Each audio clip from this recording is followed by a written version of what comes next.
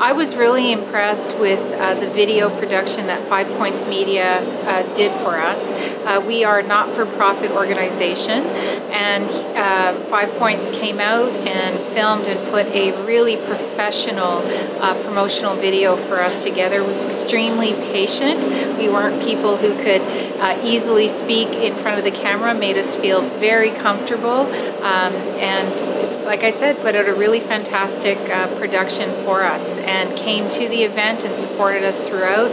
Um, super grateful, and it's made a really, really big difference. We had 125 people come out this evening, and a lot of it had to do with the promotional footage that Five Points put together for us. So, a big thank you to them.